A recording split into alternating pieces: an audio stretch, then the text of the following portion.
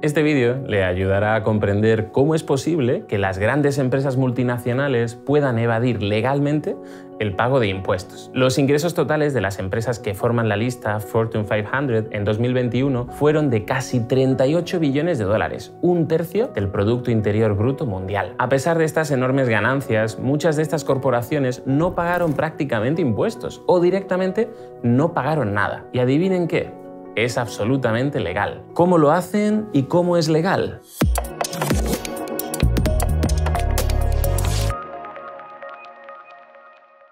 La evasión de impuestos le roba ingresos a la nación, afecta directamente al nivel de vida de los ciudadanos y empeora la desigualdad de ingresos. Extrañamente, la evasión de impuestos o la minimización de impuestos tiene efectos negativos pero es legal. Las corporaciones utilizan lagunas en las leyes fiscales para reducir los impuestos que tienen que pagar. Por lo tanto, pueden pagar muy poco o nada en absoluto. Encontrar estas lagunas requiere la fuerza laboral de todos los departamentos de contabilidad. ¿Sabía que las leyes fiscales de Estados Unidos, por ejemplo, necesitarían 2.600 páginas para ser mostradas y esa cantidad significaría que hay docenas de lagunas legales para explotar? ¿Dónde comenzó el problema? La adopción del principio de entidad separada a nivel mundial a finales del siglo XIX y principios del siglo XX hizo posible que las subsidiarias de las grandes corporaciones fueran independientes por derecho propio. Estas subsidiarias son entidades separadas que pagan impuestos en los países donde están ubicadas. El principio tenía como objetivo permitir que cada país en la cadena de suministro recibiera lo que le correspondía. Pero como sucede a menudo, algo salió mal en el camino. Debido a la globalización, las multinacionales han extendido sus operaciones a varios países, incluidas las naciones en desarrollo y los llamados paraísos fiscales. Al compartir las ganancias dentro de la empresa, sus ganancias se han disparado. Y de forma lógica, básicamente, no pagan impuestos si existe la opción de no pagarlos. Microsoft, por ejemplo, aunque tuvo un margen de beneficio global del 42,3% el año pasado, está utilizando técnicas de evasión fiscal o de minimización de impuestos, al igual que muchas otras corporaciones. Y, por ejemplo, su margen de beneficio en Australia es solo del 4,5%. La elusión fiscal es posible al explotar lagunas en la ley. Estas lagunas pueden ser creadas involuntariamente por los legisladores o insertadas deliberadamente después de una campaña de presión por parte de las multinacionales. Algunas de las lagunas más comunes incluyen deslocalización de filiales en paraísos fiscales. En las Islas Caimán, por ejemplo, un edificio de cinco pisos llamado Agland House alberga 40.000 sedes corporativas. Luego, también existe una laguna conocida como cambio de deuda. El impuesto de sociedades es un impuesto sobre las ganancias, que es lo que queda de los ingresos después de deducir los costes. Los pagos de intereses sobre préstamos son uno de los muchos costes deducibles que una empresa puede hacer a efectos del impuesto de sociedades. Por lo tanto, cuanto más endeude una empresa, más intereses paga y menor es su factura fiscal. La depreciación acelerada es otra.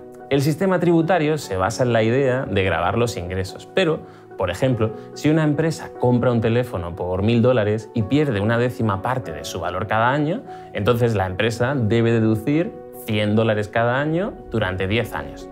Eso es depreciación. Por lo tanto, la depreciación acelerada permite realizar deducciones antes, lo que puede permitir a las empresas diferir el pago de alguno de sus impuestos. La mayoría de estas lagunas se han convertido en una práctica común e incluso han recibido nombres. Uno de ellos fue el infame Double Iris, utilizado por corporaciones como Apple, Google, etc. En 2011, Google Irlanda registró un beneficio bruto de más de 9.000 millones de euros. La empresa era subsidiaria de Google Corporation y manejaba toda su publicidad en África, Medio Oriente y Europa. Estos anuncios se publicaron utilizando tecnologías con derechos de autor de Google Corporation y, según el principio de entidad separada, Google Island tuvo que pagar regalías por ellos. El pago de regalías de 7.500 millones de euros se destinó a otra subsidiaria de Google, Google Island Holdings. Cuando se añadieron costes adicionales, los gastos totales fueron superiores a 9.000 millones de euros. Si se resta esto al beneficio bruto y se le suman 3,5 millones de euros de intereses, Google Irlanda obtuvo un beneficio de poco más de 24 millones de euros. Pero, ¿qué pasó con ese pago de regalías de 7.500 millones de euros? Las leyes fiscales irlandesas solo exigen el pago de impuestos si el centro de negocios de la empresa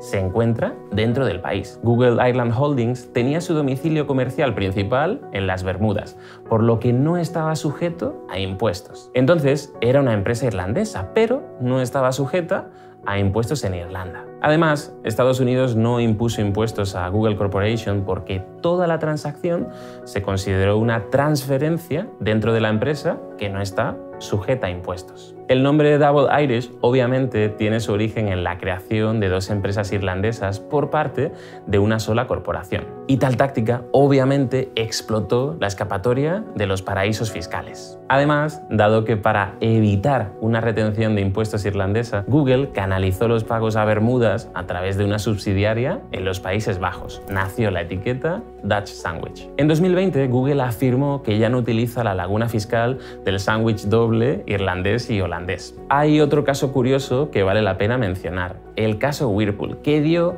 un vuelco al mundo de los impuestos. Whirlpool fue declarado culpable de utilizar empresas ficticias extraterritoriales para obtener millones de dólares en ganancias sin pagar impuestos. El fallo del Tribunal Fiscal de Estados Unidos contra Whirlpool hizo que el fabricante de electrodomésticos pagara más de 100 millones de dólares en gastos de impuestos. En 2007, el fabricante de electrodomésticos estableció dos subsidiarias, en México y Suiza. Whirlpool International México fabricó los productos, mientras que Whirlpool Overseas Manufacturing en Luxemburgo, que tenía solo un empleado a tiempo parcial, hizo el inventario. Las leyes de México permitían la libre importación de materiales si los bienes se exportaban a países extranjeros. Las leyes también liberaron de impuestos a la subsidiaria mexicana porque no estaba radicada permanentemente en México. Luxemburgo también otorgó a la empresa ficticia suiza la exención de obligaciones fiscales porque no estaba establecida de forma permanente en Suiza. Debido a las leyes de aplazamiento de impuestos de Estados Unidos, Estados Unidos tampoco impuso impuestos a Whirlpool durante algún tiempo. Esta estructuración inteligente significó que Whirlpool retuvo casi el 100% de sus ganancias. Conclusión, la elusión fiscal es un problema muy difícil de resolver. El sistema internacional de impuestos corporativos está profundamente arraigado en un principio centenario que la globalización ha vuelto inútil. La ilusión fiscal aumenta indirectamente la dependencia de los países en desarrollo de la ayuda exterior al robarles los recursos necesarios. También agrava la pobreza en estos países. Poner fin al problema requeriría un esfuerzo internacional decidido y mejores políticas fiscales que buscarían eliminar la causa en lugar de tratar los síntomas. Como siempre, muchísimas gracias por ver este vídeo y ya sabes, comparte, suscríbete y sigue viendo nuestros vídeos.